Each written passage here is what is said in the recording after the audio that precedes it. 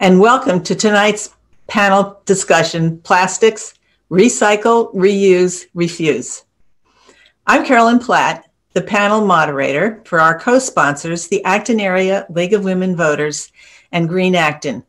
And John Sonner is our Zoom host. The League of Women Voters is a nonpartisan organization that supports policies, not candidates or political parties, through civic education and advocacy at a local, state, and national level.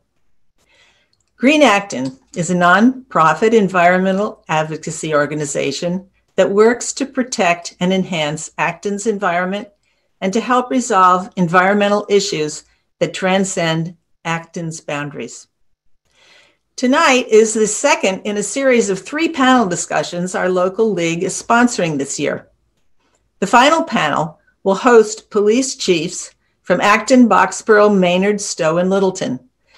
They'll discuss the effects of COVID 19 and Black Lives Matter movement on community policing, with plenty of time for questions. See the chat for more information on this March 10th event. This is a Zoom webinar so you'll only be seeing the panel and the moderator. Note that there are separate icons on the bottom of your screen for Q&A and for chat. We welcome your questions on Q&A and we'll be posting resources on the chat. So please don't use the chat for questions. So our registration is over 200 people. This tells me that plastic is on our minds. Much of the plastic in this world is used just once, and only about 9% gets recycled. The vast majority is accumulating in landfills or burned in incinerators. Landfills and incinerators are disproportionately located near communities of color and low income populations. The plastic pollution is not just a litter or oceans issue, it's a climate issue and it's a human health issue. Disturbingly, plastic never goes away. Finally, lest we forget, in selected uses, there is no better material than plastic. But what we don't need is plastic waste. Our first speaker tonight is Ben Harvey, the president of E.L. Harvey Waste and Recycling Service. Ben's presentation on recycling will start with his short video tour of E.L. Harvey Materials Recovery Facility, better known as a MRF, showing what happens to recycling when it leaves the transfer station. Then he'll join us in person to talk about final destination of plastics, challenges and trends, and also tell us about a valuable and handy source for finding out what can and what can't be recycled. Okay, we're ready for the video.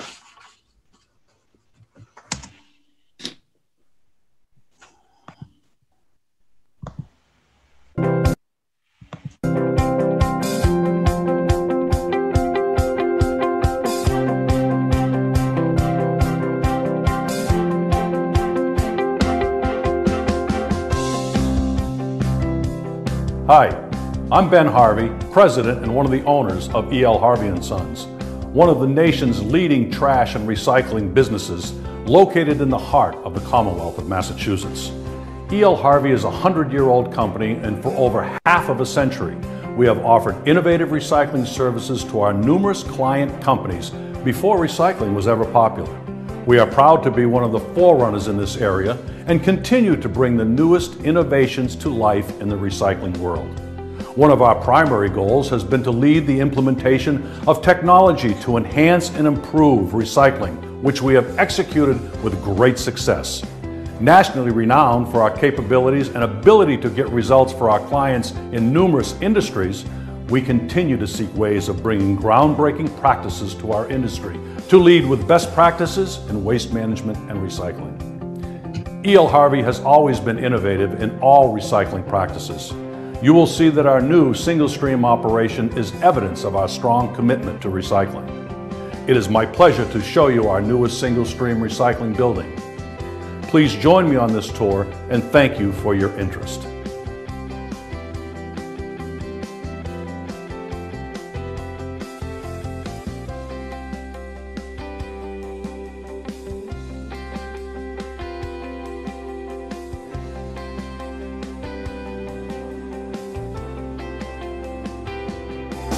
Me, you will see what is typical for a single stream recycling facility. As I said before, it's a very mechanized system. The material comes in all mixed together. Then it goes through a series of screens, of floats, of mechanical and uh, manual separation to get the products that we want. So we're going to try to walk through the system and walk through the steps that we take here in Westboro to make a recyclable product at the end of the day. Behind me, you see a normal pile of single stream recycling that is coming in from other municipalities. The material comes in all mixed together. It goes to the metering bin to my left. The metering bin puts a nice level layer of material on the inbound conveyor that goes up to our first picking sorting area. From there, the material goes through a set of screens, which hopefully we'll be able to show you in a moment. So this is our first pre-sort. And what we attempt to do here is take out materials that are too big to go through the system. If you've thrown small appliances or pails, five gallon pails, or other types of plastics, uh, film plastic, that might hurt our system or do damage to our system, this is what comes out first. And then the material continues to flow through the rest of the system. After it goes through the pre-sort, it goes through a set of screens that pulls out the larger pieces of cardboard. You can see the cardboard that kind of hops up on top of the screens. All of the other material, including newspaper, cereal boxes, bottles, cans, everything else falls down through the screens and it goes onto another conveyor to take it into another process. Also at this point that we cannot see is where the glass is broken and, and uh, into smaller pieces, and then that goes out into a stockpile to send away for, to glass recycling. The, ma the material that's on the conveyor that you're looking at now is the material that came out of the first two screens, the cardboard screens. This is, again, going through a series of mechanical separation where the bottles and the cans are separated from all of the other fiber. The fiber goes onto a quality control conveyor the bottles and cans go onto another conveyor and continue through the process. We actually have two sets of screen here, one that takes out the larger paper, and then another one we call a polishing screen to get out whatever fiber is left in the, in the system. So after it goes to these two screens, the containers come up on that end conveyor over there, goes through the magnet, and then comes back down this conveyor where here everything is hand sorted. So it's a, what we call a positive pick. So each one of these guys has a different responsibility on the material that they're sorting out. And the only thing that's left on the belt as it, as it goes the rest of the way is trash and PET and aluminum. Because we have a, a mechanical separation, it's actually an optical sorter which, which recognizes the plastic resin then kicks out the PET, and then the aluminum, we have a reverse eddy current that kicks out the aluminum. They also, they do have optical sorters for the other plastics, but because of the cost, we didn't put them in, but eventually we probably will. Where PET, uh, which is the soda bottles, that's the uh, highest volume of the container line. That's why we put the uh, optical on the PET sorter. So the, the soda bottles and water bottles are the ones that I was talking about that'll go through an optical sorter. And what it does, it goes through a, a scan with a lot of light and it'll pick up the resin and it'll blow it off to the side and separate it out that way. It's, it's quite a system. The material that's being fed onto the uh, baler feed conveyor now are tin cans that have been separated by a magnet. This is our baler infeed, and these bunkers beside us here all have different fiber materials in them. You can see the paper, the cardboard. And when those materials, when those bunkers are full, we open up these uh, doors, that material comes out on the feed conveyor and then it's fed into our baler. The baler makes bales that weigh approximately 15 to 2,000, 1,500 to 2,000 pounds each. And from there, where they're loaded onto trailers and shipped to mills. The material that's blowing in the air here is paper that we're blowing off of our glass line. Because we want to keep the residue, we want to keep our glass as much glass as possible. So we try to get the NGR, which is non-glass residue, out. And we're doing that by a fan. Most of this paper is from people that have home shredding systems and shred all of their documents and then put it into recycle. We do recycle this paper after it goes through the blowing system. So, so we've, we've, we've come full circle in the system. We've come from the beginning where we had all of the stuff mixed together to the end of the line where we have all of this product that is now ready to be shipped to the consuming mills throughout the world. The mixed fiber is going to mills in China. The cardboard is going to mills locally, uh, most of it to upstate New York. The PET containers are going to facilities down in the south of the United States. Uh, there's a couple of mills in North Carolina that use that. Uh, the, the, mixed color, high density polyethylene, all those nice pretty colors. And we will ship that to uh, another plastics sorter and they'll run that through that optical. So they'll get the polypropylene out, they'll get the uh, whatever uh, high density polyethylene is left in there, whatever PET, they'll just break everything down into its individual uh, plastics. I hope you enjoyed the tour of our newest single stream recycling operation. We okay, Ben, it's nice to see you in person. Why don't you continue? Okay, well, first of all, I want to tell you my voice, I couldn't talk after I got that tour done, shouting over the equipment, as you could hear. Um, a couple of things um, I just want to talk about today.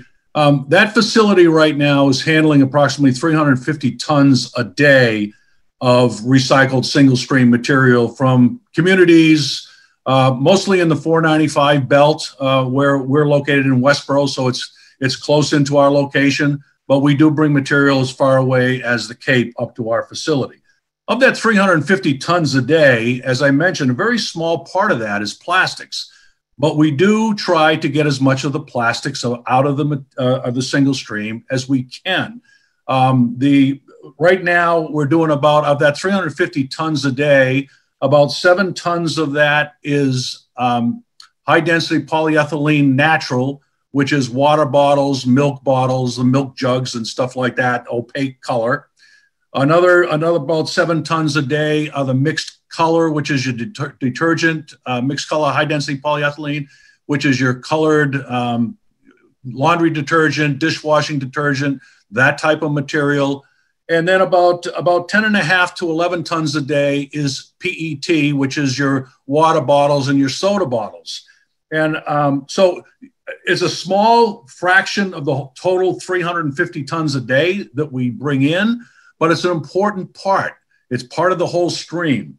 Um, uh, we we um, let me see that material we come in we're we're mostly now charging municipalities to handle single stream recycling only because of the decline in the markets and most of the markets into China for our bulk grades not so much the plastic grades but for our bulk grades and so we, we are charging municipalities to bring in and process their single stream recyclables um, as you saw in the video, um, we've invested, our company and a lot of companies, a lot, the industry has invested a lot in processing equipment to handle single stream recycling.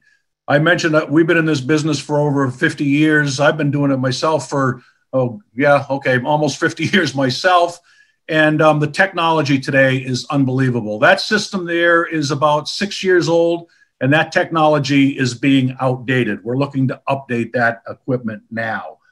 Um, let me see, I'm just trying to go through. Oh, um, I, I was going to talk about what COVID has done. COVID has increased the volume of single stream recycling, also increased the, the volume of waste generated in the home, but has increased the volume of single stream recycling because more and more people are home. They're eating at home, they're drinking at home, they're consuming more products at home. And so we have seen a increase in our PET uh, soda bottle line. We've seen an increase, not that we're talking about that tonight, but I'll bring it up on our UBC container line.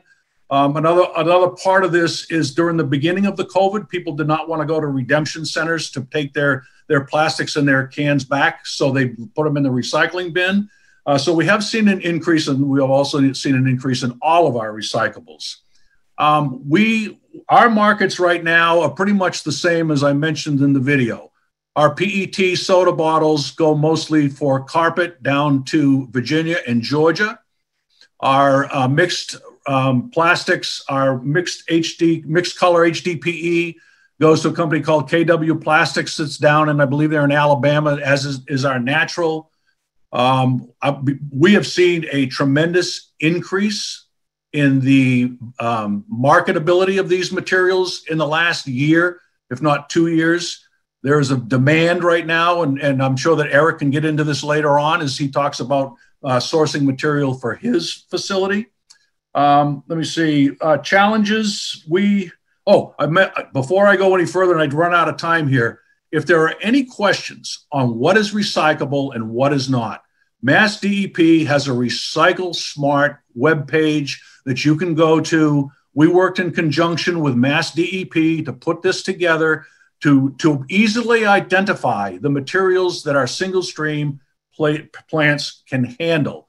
So if you have any questions, and I don't care whether you're sending your material to EL Harvey, to Waste Management, to Republic, um, we, we all kind of agreed on these are the things that our plants can handle right now. We do look at new um, new materials that come in. I mentioned we pull the films off early on. The film market has been an up and a down. Um, we try to take advantage. We need to market the materials. We can't just collect it and put it in a warehouse. We need to have markets for it. Again, that's a market that's that's increasing right now. There is a small percentage, even in our facility, that does go off the end of the line that we do not have markets for, that we that we have to send off for disposal. But we try to recycle as much much material as we can. Um, I, some of the challenges we have are contamination. Some of the challenges we have with plastics are multi-layered plastics. Um, we, we, ran into a problem a couple of years ago with um, with soda bottles. They were making out of a plant-based derivative, water bottles and soda bottles that cannot be recycled with the PET, but it looks the same. Our machines don't know the difference. So it was very difficult at that time. Our employees don't know the difference. They go by recognition. So it was very hard at that time to separate out the plant-based PET type material from the regular uh, PET that could be recycled. Uh, let's see. Uh, state and national trends, we look to see a lot more optical sorters like you saw at our plant. And the other thing that's becoming very, very popular today is robotics. Um, as I said, that plant's six years old. We're looking to upgrade a lot of the equipment that's in there now. We would like to put in robotics. It's very expensive to do that, but we feel that investing in that gives us the opportunity to extract better quality material and more material at the same time. And uh, I know we're going to have questions later on. I'll, I'll, I'll leave myself some room to answer some questions. Thank you for your time tonight. Carolyn? Well, thank you. Um, so it's really interesting that all the uh, MRFs worked with the um, Department of Environmental Protection to set the criteria for what can be recycled and what can't be. And you mentioned that uh, Recycle Smart site, which is good.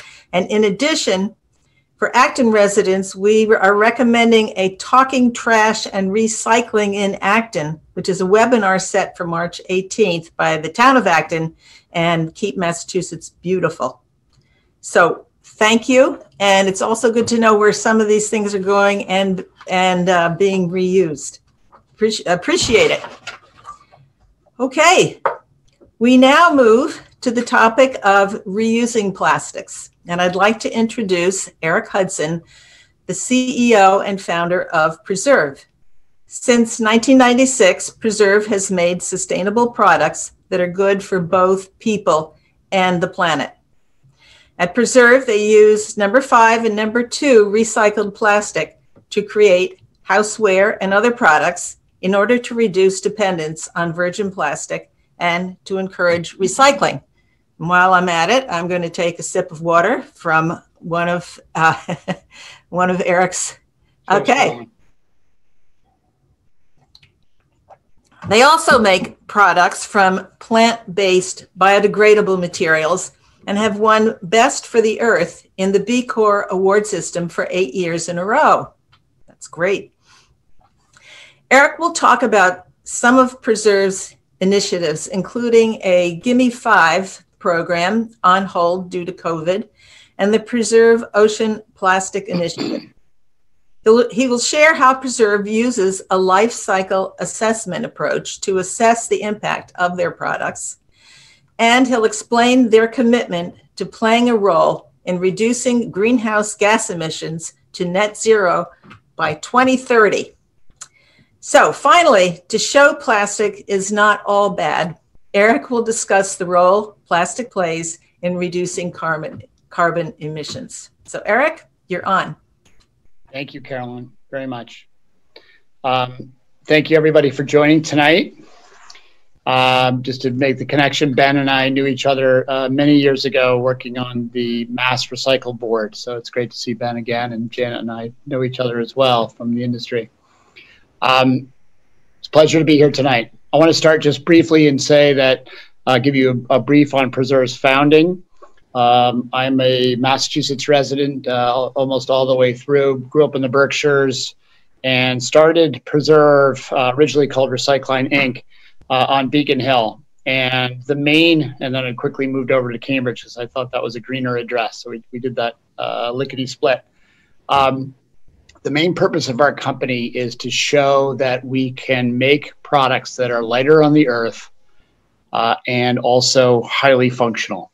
Um, so that there's no sacrifice in the functionality and they can be a lower greenhouse gas product. Um, first and foremost, that is done by making products from recycled materials, essentially reusing Earth's resources, capturing the natural gas that's in that plastic that Ben's process recycles and turns into something that a company like Preserve can source and make a product out of. Um, we make five different categories of products. We make toothbrushes, razors, tableware, food storage, and kitchen products. And we also have a food service line now. Um, about seven years, eight years into the company, which we founded in 1997, uh, we started to hear more and more from consumers uh, probably knocking on Ben's door first, and then knocking on the door of someone like Preserve, originally in Somerville and now in Waltham, saying, you know, I love what you guys are doing, but I still can't recycle my yogurt cup. And, and what are you going to do about it? Uh, so we started a program called Give Me Five, and that Give Me Five program, primarily through partners like Whole Foods Market, takes back number five. Give Me Five bin and then feeds through into our system in which we then reprocess it. Uh, in essence, you know, sort of the step beyond Ben's, we take it into a uh, reprocessing facility. There's one called Aaron in Leominster, and they grind up those yogurt cups and they turn it into a, a flake. And then some of these guys actually will turn it then into a pellet, and we source that pellet and we then can process it in our manufacturing facilities, uh, in our partners' manufacturing facilities. Uh, we have a, a, key partner based in Leominster as well, um, one of our manufacturing uh, partners. Um, so the Give Me Five program, uh, you know, over over all the years has been more successful than not.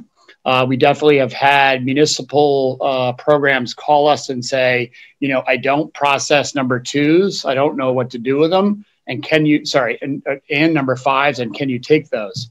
Um, so we have had discussions with towns about the potential to source number five plastics. Uh, and then we also work with companies on take back programs. Um, for instance, Preserve has had a take back program since we started the company. We take all of our products back and we turn them into something else. And Gimme Five became the vehicle for that. But we also worked with companies like Stonyfield Farm and Brita and Pacifica to recycle their products in their take back program and then turn those into products at Preserve. And those can range, the products that we can make can range from our razor um, or our toothbrush, but they also can become um, less sort of sexy uh, materials like a brick or a pipe, um, depending on how, you know, potentially how contaminated the materials when it comes back to us. Um, the Give Me Five program has been difficult to keep going in the last year and a half, and we're seeking to, you know, really um, uh, reinvigorate it, re, re, rebirth it uh, as we move out of uh, COVID, hopefully, slowly but surely. Um, mostly, it's been an issue as it relates to um, our partners and their ability to take back materials in the stores. As you may know, you know a lot of the plastic bags were not allowed to be recycled in stores recently. As well, of course, we couldn't even use reusable uh, bags. Uh, sorry, re- yeah, reusable bags. Unfortunately, uh, we're beyond that stage of COVID. People have become much more comfortable with that um, surface level lack of surface level transmission of the virus. Um, I want to also uh, talk about a couple key things. We recently took a, a next step with our, our mission.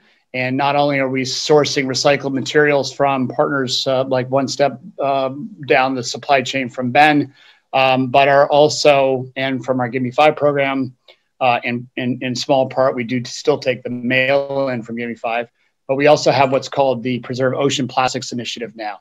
So about two years ago, we said to ourselves, how can we help with this issue? And we basically came to the resolution that we're better at prevention than we are at remediation. So we don't want to be in the, you know, the activities of, or we didn't think we were capable of being the activities of trying to help, uh, you know, basically uh, screening the plastics out of the ocean, but we wanted to help prevent the plastics from getting into the ocean. Um, I'm sure a lot of folks have done research uh, on this issue and, and, understand the causes of it.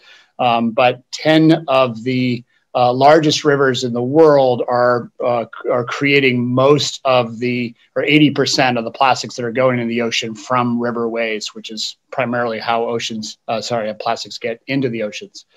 Um, and we are sourcing uh, some of that material with partners uh, in which pickers are out there picking the plastics from coastal areas or from tributaries feeding into rivers. And we're bringing that through with our partner Envision in California.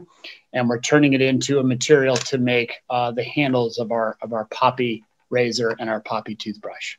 Um, we also give 25% of our proceeds to uh, nonprofit uh, partners, which has been really fun. And uh, the proceeds are growing. So it's, it's exciting to try to figure out okay, who's the next nonprofit partner we can support. Five Gyres has been our number one partner to date. Um, as Carolyn mentioned, one of the key things we're seeking to do as a business, I, I got to look at John's uh, timer here, um, is that we uh, recently uh, realized that the biggest impact or lack of impact we can we can have is to become a zero carbon net zero uh, company uh, by 2030, but we're we're I'm, we're going to far exceed that. Uh, we're already working really hard on it now, and I think by 2023 we will be net zero. Um, that's really exciting, and we think that this uh, step by consumer products companies as well as all companies globally can be a significant uh, front that businesses can uh, contribute to uh, reducing our greenhouse gas emissions, of course. Um, you know, of course, the, the, the, the countries and the nations are coming through in the Paris Accord. Um, many companies have come through and we're still in it when, when we went out of the Paris Accord for a while. Um, and we love the steps that companies are taking to say, you know, tactically and strategically, we are going to either offset or we're going to source renewables or we're going to reduce or we're going to reuse uh, and we're going to take steps to make sure that we're a net zero company. So that's very exciting. And that parlays a bit into uh, one of the key things I want to talk tonight about is, um, you know, plastics get slammed. There's no question. Um, a lot of uh, you know presentations that we do, um, we talk about you know kind of the uh, you know the air that comes into the room. We start talking about plastics. There's this negativity. There's no question. There's a negativity. There's a, a, a an end of life problem and it's contaminating our oceans, as we all know. I don't, I don't need to go through the stats. Um, I've got them right here. We can talk more about those. Um, but there's hope. Uh, you know, there, there are efforts that we can take to prevent plastics from getting into the ocean.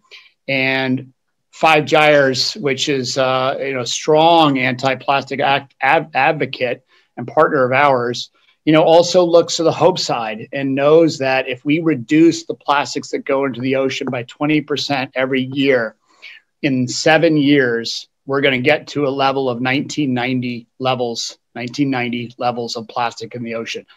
And that's a level in which the plas- the ocean was able to handle the plastics in the ocean. Um, and I, I don't want to overstate that because none of us want any plastics in the ocean. But in, in essence, it came to a state of homeostasis where you didn't see beaches of plastics all over the place. You didn't see waves and surfers of plastics raining in on them. Uh, and that's a much better place than we are here today. In essence, the ocean can process that plastic and deal with it, and we don't have the uh, negative, strong negative effects on marine animals. Um, I also wanted to, you know, just highlight that when we look at plastics, I think you know most of us know on this call and this webinar that they are the right choice, as Carolyn mentioned, as it relates to reducing greenhouse gas emissions. Just forgetting about end of life for a second. If you're going to design a plane, a car, a train, uh, something that carries yogurt across the country and brings it to your home, a, a thin walled polypropylene plastic cup is far better than glass or steel. Uh, and of course, we tried to design planes that were all steel, all metals, uh, they might not get off the ground. Um, so there is a place for plastics. We're all looking at plastics right now in our computers. Um, of course, there's a, a, an argument to be made to reusables. Okay, if we can be durable, I get it. That's more of a place for plastics. When we go into the single use area, let's find better solutions. So, whether that's better recovery or on the front side, of course, redesigning products so they reduce uh, from a packaging standpoint, from a uh, product standpoint, making them more recyclable, as Ben was talking about, you know, the issues with the, the, the plant based PET bottle and sort of the frankenplastics that can be created um, designing for recyclability is key. Uh, but I'd also say that making products and really investing in the innovation needed around new materials uh, is key. Uh, and Preserve, we're really, really focused on that. So, one of the key materials we like, sorry, I have one right here. Earlier, I was eating uh, my dinner on a PHA fork. And, um, you know, PHA is a material sort of beyond PLA and it is a plant based material and it's home compostable. Um, and we think it can get to a point where it is uh, benign enough to be marine degradable. And it can also get to a point, we believe, whether that's PHA or a, a next level material from PHA, where it's actually a nutritious you know, treat potentially for marine animals. So no one wants these plastics to run astray and find its way to the ocean. But if they do, let's design them made from materials that uh, are not harmful to marine animals or to uh, the oceans. Um, so, with that, I think I will pause and I'm looking forward to the discussion ahead. Um, I don't think there's any key points I missed, but Carolyn, if you think I did, I'd, I'd be happy to uh, continue on. Well, you, you mentioned the uh, life cycle assessment. Yes, great, great, great point. Um, so when we talk about the footprint of uh, plastics, um, you know, Preserve has made our products from recycled plastics ever since the first days. And, and we don't exist here to make products from virgin plastics. We make products from reused materials, from recycled plastics. And in doing so, and also in lightweighting um, our packaging or making our products reusable, um, we also seek to investigate, study, and measure the full life cycle of that product, both from its origins to its second life. And we'd like to spend a lot more money on this if we could, but it's called a life cycle assessment, which many of you may be aware of. But really looking at the the impact and the greenhouse gas emissions of your product from uh, its first days in sourcing the materials that you put into your product, um, originally the mining of those materials potentially, uh, and then the manufacturing process, and then the second life afterwards, or potentially going to landfill if that's where it ends up. So these life cycle assessments have really become something that a lot of companies are utilizing, um, using science to make sure that they're trying to uh, design their products to be as light as possible. And in essence, on a very high level, if you look at using recycled materials versus using virgin materials, if you look at using recycled polypropylene versus virgin polypropylene, you're having about 50% less uh, emissions in that product with that product, and you're also uh, utilizing 50% less resources like water in the production of that product. So again, we'd love to be doing much more life cycle assessment. Uh, it is it is expensive to hire, um, and we hope to be uh, you know measuring all aspects of our business going forward. Fortunately, the net zero assessment um, is really more of a holistic look at our entire operations, um, and and each of our products are are included in there, but we don't have to kind of break out. Uh, you know what's the impact of each one of our products we have you know over 50 now so it can be uh, again expensive to do that on a product by product basis and when you do it on a more holistic basis as it relates to all your transportation and all your manufacturing, and then also all the use and the potential disposal of your products, uh, it's a bit more uh, economical. Wow. Well, who would think from holding a toothbrush that there's all this, all this thinking and creativity, and I would say a lot of encouraging um, things that are happening. Um, I congratulate you if you get to 2023 net zero. Um, I'd like to come to the party. so let us know. Thank you. Well, thanks so much. So now I am most pleased to welcome our last panelist, Janet Domenitz, the Executive Director of MassPIRG. MassPIRG stands up to powerful interests by advocating for the public interest in many areas, including tonight's topic, zero waste. MassPIRG believes, and I quote, it's time to move beyond single use plastic by getting rid of the most harmful waste and stopping the use of things we truly don't need. So, Janet will update us on the recently filed plastic bills in the Mass legislature and she'll tell how we can give important input to the Mass Department of Environmental Protection on their solid waste master plan draft. And she'll also talk about PIRG's national campaign against Whole Foods to get rid of single use plastic in its stores. So, Janet, I'll turn it over to you. Thank you so much, Carolyn. Uh, just to follow up on the last comment, I want to go to any party, please. When are parties coming back? Right. Sooner the better. um, well, this is a party. Let's consider this a party. There's 120 of us here. So this is our Thursday night party. And thank you for having me. Um, as Carolyn said, I'm Janet Domenitz. I'm the director of MassPIRG, and I'm a little behind Ben. I just celebrated my 40 years at MassPIRG. So um, I have a little catching up to do. But um, but Ben and I are roughly in the same generation. So uh, I'd like to talk about three things tonight. Um, first of all, I want to give you a little bit of background or theory to what we mean by uh, zero waste, which is what we are uh, promoting. Secondly, as Carolyn mentioned, tell you a little bit about our state campaigns. And third, mention our national campaigns.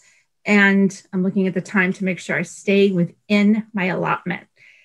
Um, so, starting with our theory, our roadmap for zero waste, I'll take a moment of personal privilege and say that I grew up with um, a grandmother who was born in 1901, one of my favorite humans ever, who used to say to us, Enough is too much. And I can't say that I got that when I was seven years old, but now I live it. And I hope every day that she hears what we're doing because it is all about that sentiment and that sensibility. Um, my dad was a World War II veteran. He used to say to us, like, in any occasion, you know, waste not, want not.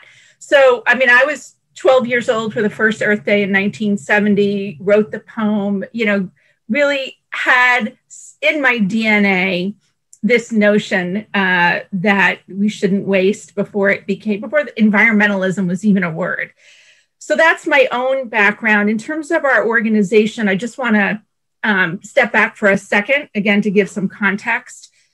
Uh, i want to read something for a moment that uh, recently maybe maybe you saw this as well. A new analysis that was recently published in the journal nature poses this. The year 2020 will likely be the year when human made mass surpasses the overall weight of biomass, which is basically living things on the, on the planet. That is estimated to be, and this has 11 zeros. So I'm just going to say 1.1 teratons. That's with one R. A milestone that speaks to the enormous impact that humans have had on the planet. On average, the researchers estimate that materials, including concrete, bricks, asphalt, metals, plastic, wood, and glass, that outweigh the body weight of every person on the planet are being produced each week. So that's just like sets the stage. Then you think about the United that sets the stage for the planet. Then we come into the United States, we're 4% of the population of the planet and we generate 12% of the world's waste. That waste, when we say waste, it's kind of like an abstract concept, but waste goes two places landfills and incinerators. We do not have the time tonight to make the laundry list of all the pollution that comes from landfills and incinerators. I don't think I'm overstating to say that there is nothing good about either of those things. Then we bring it home to Massachusetts, where we are generating something a little over five and a half million tons of waste each year, and our progress has has flattened. If anything, it might have gotten a little worse. The most recent numbers, I believe, from DEP are from the Department of Environmental Protection, which I will now call DEP. Um, I believe they're 2018. Um, so, so that's. I just wanted to paint that somber picture and then talk for a moment about how plastics fit in here and then move on, as I said, to number two and number three, what we're doing about it on a state level and a national level. So, plastics, and this number may have been mentioned already. If I'm repeating, I'm sorry, but 8.3 billion tons of plastic have been produced since 1950, and half of that is in the last 15 years. So that's to give a little context. You know, somehow we did have modern civilization before plastics. I am not advocating that we go back to 1948, but I am trying to just give a little context for plastics in our modern in our modern life. Uh, I know Carolyn said this earlier. It bears repeating that less than 10% of plastic has ever been recycled.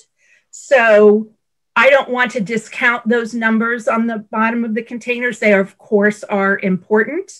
But the fact is, if, if we just like take that one step back, less than 10% of all plastic ever produced has actually been recycled. Um, a third note there is we have to also look at the front end because even if we could wave a magic wand when we were done with X plastic item and it would just disappear into fairy dust. The fact is that making that plastic also has severe polluting implications. It's mostly made from petrochemicals. I just took a class the other night. There's a plant being built right now in Pennsylvania to um, to take fracked gas and turn it into plastics. They're wanting to make more plastic. I mean, the con- the making of plastic with petroleums is enabling fossil fuels and a lot more polluting problems in our state, in our country, on our planet. So, at our organization, our theory, our jumping off point, our promoting zero waste is that we make too much stuff, that we generate too much waste. And there, if you look at plastics, that's a simple place. I don't mean easy, but it is a simple, straightforward place, a logical one, and an extremely important one to start to turn this sinking ship in a plastic filled ocean around. So that's just a little bit of context, uh, you know, how we how we see the world. So that's number one. Number two is so what are we doing about all that? Uh, if you are familiar with the legislative process in Massachusetts, then I will be repeating what you already know, which is our sessions started on the first Wednesday of January. So, um, little about a month and a half ago. Uh, the bill filing deadline just ended four days ago. Friday, February 19th was the deadline for filing bills. So we're still sorting through the thousands of bills that have been filed, but I would like to talk about some of them. Before I do that, um, I just again want to give you sort of like my my um, approach to all these campaigns. There is no one silver bullet. So I have I have favorite bills that I love working on, but we're not going to solve the problem of waste and and plastic pollution with any one bill. There's no one way to do it. That's number one. Number two, and again, this is my personal privilege to say this. I like the focus on legislation over lifestyle. And I feel like I get into conversations with people where I, you know, their entire, every ounce of energy and focus and commitment that they have ends up going into, you know, worrying about like, I have to do all this research to decide do I buy Stonyfield or do I buy Dannon and what should I have in my refrigerator and is, is my shopping habit better than my neighbor? You know, it's like people get really understandably focused on what they're doing every day. But I have spent 40 years looking at, you know, how do we make the systems work? How do we change the infrastructure? How do we influence our decision makers literally in the public interest? And so I'm not somebody who advocates, you know, buying a car that goes five miles a gallon or anything. But on the other hand, I like to focus on legislation over lifestyle. So that's where we're coming from. And then the third thing that I'll just mention in terms of the advocacy work that we do is keep your eyes wide open as to who's opposing these measures. And I'll I'll give you an anecdote on that in a moment. So on the state level, um, in no particular order, we have relaunched this year uh, and just filed on Friday our campaign to update the state's bottle bill, the deposit law. Um, we have put some new measures in there. The, the deposit has been a nickel since 1983. If you can show me anything else that costs the same that it does in 1983, I'd love to see it, but we want to double that deposit to 10 cents. We want to include every container. I was i was cringing a little bit watching um, ben's video because there's not a single beverage container that should be on that conveyor belt. We know how to do this and we should do it for water bottles and we should do it for iced tea and we should do it for all those single use beverages that a lot of which end up as litter or um, as trash. So we've got a new bottle bill. We've got the, we've refiled the bill to ban single use plastic bags. Um, there are 351 cities and towns in Massachusetts. 141 of them, tired of waiting for the state legislature, have moved on their own to ban single use plastic bags in their towns or cities. And we should do it statewide. It's beyond time, it's late. Um, there is a bill to establish what we call right to repair. 8,000 cell phones a day in Massachusetts get tossed. And a lot of that is because we're not given the tools or the schematics, the directions anymore as to how to repair our own stuff. Or Apple makes the battery glued in so you can't just lift it out and put in a new one. Um, there's legislation filed to give us as consumers right to repair our electronics. There's a bill filed this year um, to get producers to be responsible for their products, like we've done in other states with paint and mattresses and other polluting items. And then I want to mention Carolyn said that the Department of Environmental Protection, as a result of a law that we helped pass in the 80s, every 10 years has to issue what's called a solid waste master plan. It's basically a blueprint for how we're going to deal with waste for the next decade. They can't do all of it on their own. Some they have the authority to do, some they're just recommending to the legislature or to cities and towns, but they have to have this blueprint, which is a really important um, document and reference point. And we are asking them to make it a zero waste master plan. Um, so those are just a few places where if you want to get involved in changing policy on a state level, I mean, there's plenty more, but I just wanted to feature a few. And then we're lucky enough, MassPIRG, to be part of a national network of state PIRGs, and we often um, combine forces to take on national targets, one of which is Whole Foods. Um, an organization called As You Sow, that's S O W, which is like an activisty think tank, put out a report recently on major retail chains and their practices around plastic, and they gave Whole Foods an F, like in failing. And while Whole Foods was a leader some years ago and were one of the first to ban single use plastic bags, they now have too much single use plastic packaging in their store, and we're asking them to reduce that. We also have a really cool campaign. Um, waste is out of fashion. A lot of the um, fashion industry, they knowingly make too many clothes, dispose of them. It's polluting, it's trashing. It gets back to this reduce, refuse imperative that we think is so important as we go forward. And I guess that's the last thing I would say is while I truly cherish and believe in and promote recycling, I think in the coming year and years, we have to get back to the first word in that mantra, which is reduce. I read a, an article last year, maybe you saw it in the New Yorker, about the whole, you know, gyre problem in the oceans and this marine biologist who's been studying plastics in the ocean for a while said, and I quote her, recycling has become the fig leaf for consumerism.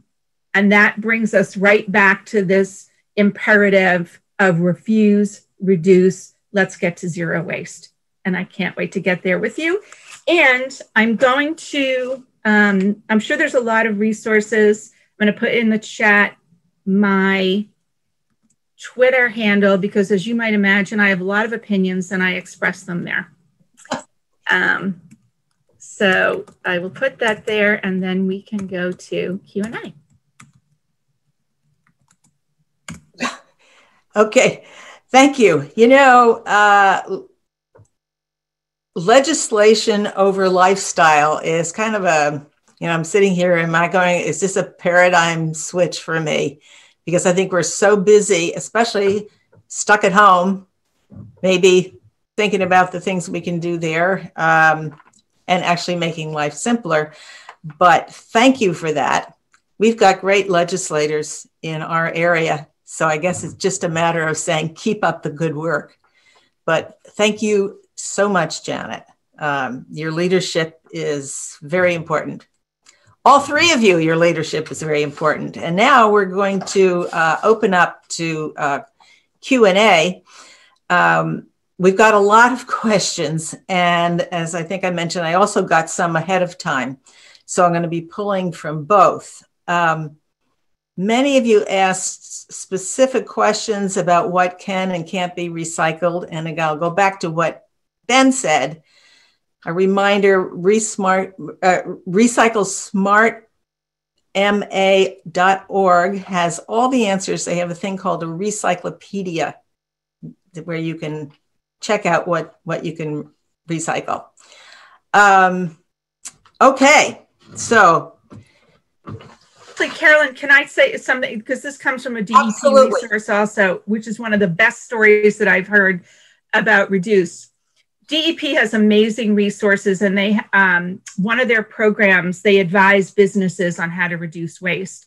And I went to one of their seminars, and um, this uh, technician person said they went to a restaurant that was really struggling with the amount of waste that they produced each week, and it turned out one of their most it was a burger place, and one of the most popular items on the menu was French fries and one of the biggest, I can't remember the numbers of pounds, one of the biggest streams of waste was the potato peels because oh. they were heavy and wet and they were just, you know, millions a day, whatever the number was.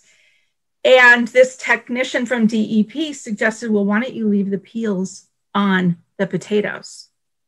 You want to talk about win win. Everyone, all the customers were like raving, they tasted better. And then there was literally zero waste. And I just love that story because I feel like it's a metaphor. There are some, you know, there's so many things hiding in plain sight. when I started talking about zero waste a decade ago, it sounded a little, you know, aspirational blue sky, but now there are so many examples like that. Um, and, and again, I just want to give DEP a shout out for having, you know, the kind of resources to offer us those great ideas. That's, that's brilliant. okay, thank you. So, um, Eric, uh, here's one from a high school student. And um, he asks Do different types of plastics affect the environment differently? And actually, something, you know, Ben, I'm sure you can sp- speak in on this too. Now, Eric, I know you touched on this when you were talking about um, some plastics re- reducing carbon emissions, but can you give some other examples of plastics that might affect the environment differently? I can. Um, I, I'm just first caveat. I'm, I'm, I'm not a scientist. Um, our COO is really holds up that environmental science side of our um, team here at Preserve. But basically, I'll, I'll, I'll say that we focused on polypropylene uh, because of our research with UMass Lowell. And when we were uh, in the, you know, in the business of recycling uh, plastic, uh, we chose the most benign. And polypro and high density polyethylene, possibly low density polyethylene, are the most benign uh, plastics as, as it relates to you know the, the chemicals that are going into its makeup. Um, the chairman of the plastics engineering department at UMass Lowell, uh, you know, really steered us in this direction and felt that um, those were the materials that were the, the least impactful on the production side, the sourcing side. And if you're going to focus on the recycling of them, not that you're supporting their production or uh, you know the, whatever they create in making it, um, that's a material that's extremely useful and is more benign it's also something that can be, uh, you know, uh, the FDA uh, is able to say it's able to house food. And I'll just also say this: there's a lot of chat about sty- uh, styrene. Again, um, I'm not a scientist, but I, I know that going into a styrene manufacturing plant is not a good time, and I don't want to spend, you know, my days going into a uh, recycling styrofoam plant or a uh, anything that involves styrene. Um, but I've been in plenty of high density polyethylene and, high, and polypropylene recycling facilities, and I know how I feel when I walk out of them. I feel fine. Um, so I also would say that there's you know different levels of toxicity as it relates to uh, when these plastics go into landfills. And again, you know, fives and fours uh, rank as the, the, the best on that list compared to uh, many of the other plastics. And of course, there's you know BPA scares um, PFAS scares and what those are doing to um, you know your your endocrine system as well as potentially um, what's happening uh, on the other side as it relates to uh, moving into um, the second life of the death. Sorry, I'm reading this chat. Uh, polypropylene, sorry, is poly is PP number five, and high density polyethylene is number two. Ben, do you have anything to add? No, from from our standpoint as a simple recycler, anything that we're not capturing for recycling, whether it's the LDP films, whether it's the you know multi-layered or multi you know bunch of plastics all mixed together that's not making it in. I'm I'm I'm like you. I'm not an engineer. I'm not a scientist. I'm just looking at the simple things, the materials that we are currently removing from the recycle stream, putting them back into the marketplace. I think is some type beneficial What's not getting recycled is the stuff that's still out there that we need to uh, we need to look at and we need to work on. Can I just, Carolyn? Can I just add on also as it relates to to plant based? I mean, we we do believe that we can be in a place with PHA where um, you know the high school student doesn't need to ask that question in the sense that um, you know it could be called something else, could be called Plantix, um, but it can be proven out that toxicity in this uh, this plant-based product is like a plant, and that's where we want to go. And I also just want to, harken back to, to Janet's point that they're, they're one of the, the, the reasons that we have hope and faith and one of the changes that we think we need to see is we need to see changes in perception and behavior amongst consumers, preservers, we like to call them. Um, Carolyn, let's go back, not go back to 1948, sorry if it was Janet or Carolyn, I forget, but but we need to look at and say we shouldn't be work we shouldn't be requiring of a single use product something that lasts for hundreds and two, hundreds of years. So why does a fork that's used to eat a salad need to last that long? So let's create a fork that lasts for that use if it has to and have it be as low or reusable, right? So we all carry our silverware around. That's fantastic too. But if it is a single use and on the go, create it from something that is not going to be around forever and is completely benign when you're done with it and also has a lower greenhouse gas completely in its full life cycle. And, and that's, that's kind of a key goal. That's a high bar. Um, and I just want to emphasize what I'm, what I'm getting at is when a, when a consumer uses a plant-based fork, they have to know it's not a styrene fork. It's not a polypropylene fork, and it's going to behave differently. So we really, you know, we we want to have faith in preservers, consumers, that they can be at a point where they're like, okay, this isn't behaving like that styrene fork because it's not going to last for 50 years. It's not going to find its way to the ocean. It's not going to be harmful to animals. When I testify in these issues, I say, let's make disposable a dirty word. Yeah. Okay. Well, Janet, um, you mentioned uh, the production of plastic, and here's a question What is the status of producer responsibility in reducing plastic waste rather than shifting the burden to the consumer? And maybe more specifically, there was another question What's the status of the Break Free from Plastic Federal Act? Yeah, that's going to be fun. That just got filed last year um, in February, I believe, or late March. Um, and so, really, this is our first full session. That is so the break free from plastic bill was filed in Congress. Yeah. And, uh, you know, we're 100% nonpartisan. So I'm not saying this from a partisan standpoint. I'm saying it from a um, realistic standpoint. Last session, I think it was filed uh, as much to kind of get the message out and set some conversations around these issues. This session there's going to be actual legislative push for it. So it's brand new. You know, I don't like to predict what happens in any legislative body, but I think there will be a push. Are we, you know, weeks or months away from that bill passing? I would doubt it. But is there going to be a real, you know, legislative campaign for it in Congress? Yes.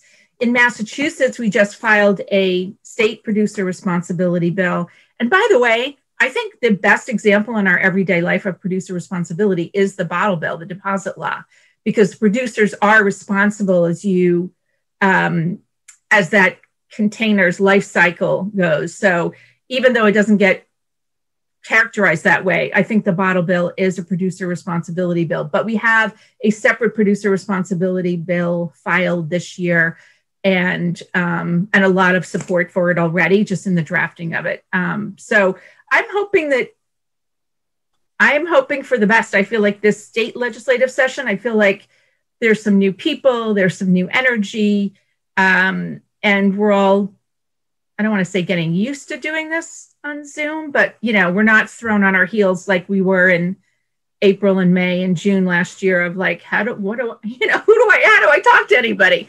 Um, so I'm looking forward, and I, and again, please, I'll put my email in the in the uh, in the chat or the Q&A, but please feel free to contact me offline to get involved in any of these campaigns. Great. Okay. Um, so Ben, maybe this one goes your way. Uh, here's this question. What's up with the plastic bag recycling at some grocery stores? Are those actually usefully recycled or is it more of a public relations effort? It's a big mystery. Yeah, that um, again, I'm not, I don't, I don't do that type of work in, in, yeah. my, in, in my daily job. Um, I do know that the majority, there's been a time when it was more of a public relations than it was a recycling thing. Okay, bring your bag back. We'll put them in this big thing and we'll, and we'll ship them off. Uh, in, in today's environment, I think there's a lot more demand for that type of material Um, I think I just read somewhere that Trex has done a deal with with some of the um, some of the bags that are coming back into the grocery stores that they're trying to use. But again, you end up with with multi-material, different types of plastic. They're not all the single-use bags that we get from Market Basket. You go to Target, you might get a different type of plastic in their bag. So if, if they're all collected, they have to be sorted. And I think that that was where the biggest issue was in the past is separating those materials the same as, as it is in our operation, separating the different types of plastic and making it work. I'm sure that Janet would have, has a different different spin on this, and uh, she's probably more in tune to what's going on than I am on that end of it. Janet, yeah, let's not let's not figure out how to recycle things we shouldn't have in the first place. I guess is the way that I would say it. Okay. Yeah. Yes. Yeah. You know, it's funny because in Acton we have banned uh, single-use plastic bags, but I noticed that those plastic, you know, collectors are still filled with bags. Yeah. Okay. Let me just jump. There's one of the things that Janet and I might agree on is that the plastic bags, if they end up in our system, cause a, a tremendous amount of downtime. They wrap around our screens. We don't want to see them. So, from that standpoint, we just as soon not have them around. So we do agree on that to some extent. Okay. So listen, a real quickie, Ben. Does any, or again, any of you, does anyone in Massachusetts keep data about the rates of recycling in individual towns? And if so, how can we get that data? I believe that's uh, Mass DEP, Department of Environmental Protection, gets all of that. All municipalities are supposed to report into Mass DEP. Um, I know that there's that they have a rating on the different communities and how much they recycle. So I don't I don't know where it is on the website. Uh, okay. Uh, you could probably contact John Fischer or Brooke Nash or somebody, and they should be able to tell what what municipality is is um, the vo- the volume or the percentage that they're recycling. Good. Your okay. your own city or town public works should also. I mean, if you just want to know your own city or town, Mm-hmm. The Public Works Department, I would think, would know that. Yeah, Public Works or Board of Health or, yeah, Health Agent, yep. Okay.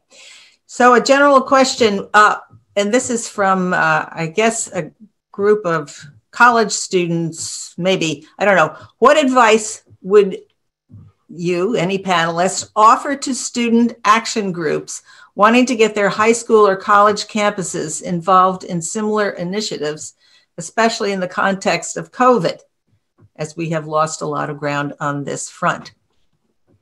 We have very active, we're not in the high schools, uh, but we have very active college campuses. And so I could connect you with people. And we have like 13 official chapters and then clubs at another dozen or 15 uh, college campuses in Massachusetts around the state. And by the way, they're going great. Students are so they figured, you know, of course, no surprise, they figured out how to do everything they wanted to do digitally within about five minutes, unlike me, which is like, where's share screen? You know, so anyway. yeah, yeah, that's great. Uh, can I make a plug for an organization uh, called Plan Post Landfill Action Network? Uh, originated in um, University of New Hampshire, and they, you know, have evolved to the point. Their their their claim to fame is realizing that they can um, take, be there to receive furniture that kids are throwing away as they exit the system at the end of the school year, hold that furniture in a warehouse and resell it at a lower price to the kids coming in the next year. So that was their their claim to fame, but now they're like a full consultancy that helps universities with sustainability initiatives nationwide. Wow, could you put that on the uh, chat? Yes. Yeah, thanks. Um, can I just say one more th- one thing about plastic bags? I just want to say, like someone said, it so it's all crap. Um, I, I, don't think it's all crap. I think that um, you know, obviously, single-use plastic bags should not be used because we should all have reusable bags. Bottom line is, everybody doesn't do that, right? Other than you know, everybody on this call. And plastic bags, the single-use plastic bags, use less resources than a paper bag manufacturing process and the plastic bags that we've tracked tracked through, not not each individual bag, but as Ben was saying, it's utilized for a lot of plastic lumber production. And someone could look at that from an environmental standpoint and say, actually, a plastic lumber deck is a hell of a lot more environment friendly than a wood deck that needs to be painted with, uh, you know, paints that uh, need to resist the weather for many, many years. So there's definitely an argue, uh, you know, an environmental balance that's that's looked at when you look at the the full life cycle of that. Okay, well, um, it is 8.10 and we, we're going to try to be as um, faithful to ending it at 8.15. And so um, we have just enough time for one very quick response from each of you, ho- hopefully to end on a positive note. And that is, what gives you hope at this point around plastic?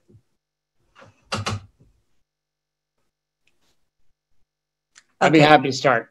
Um, what gives me hope around, I mean, it gives me hope around a lot of things is, is, um, is, a, is a whole other story of just sort of business and sustainability and carbon neutral and coming out of COVID.